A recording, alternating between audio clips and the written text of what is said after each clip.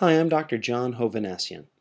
In this video, we'll describe a successful method for treating epithelial ingrowth after LASIK surgery.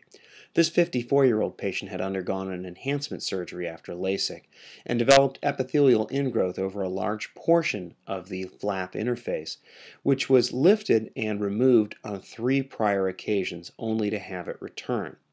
The approach that we took was first to remove surface epithelium from both the flap itself and the surrounding corneal tissue. This exposed then the flap interface, which can be lifted using here a Sinskey hook, which establishes the plane of dissection where the original flap was created.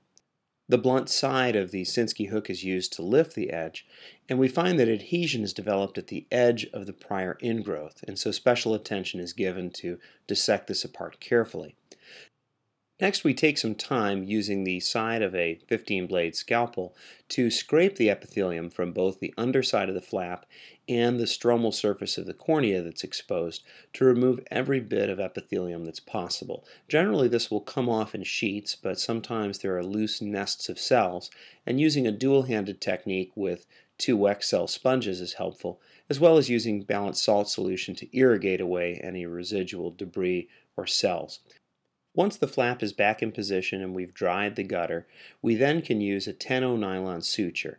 And we use a continuous running fashion suture that begins at the far extent where the flap was lifted and then runs in shallow bites around the interface to hold the flap down.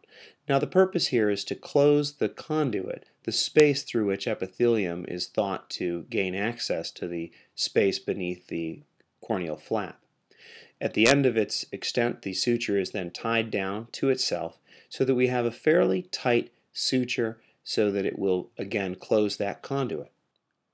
Next we attempt to finally seal off the fistula by using fibrin tissue adhesive. In this case, Evicel, a product of Ethicon, is used. And first, the thrombin solution at full strength is dispensed from the end of a 1 cc syringe with no needle. This is placed on the previously very dry flap interface edge, and then the excess tissue is actually dried before placing the fibrinogen. We use the fibrinogen very sparingly. It is not necessary to have a lot of excessive fibrinogen on the surface as it only impairs vision and creates a foreign body sensation. Next, a second application of thrombin is given.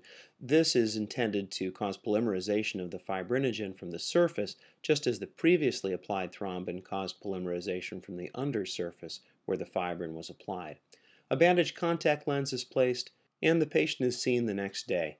Typically, the eye has a fairly cloudy appearance because of the fibrinogen on the surface.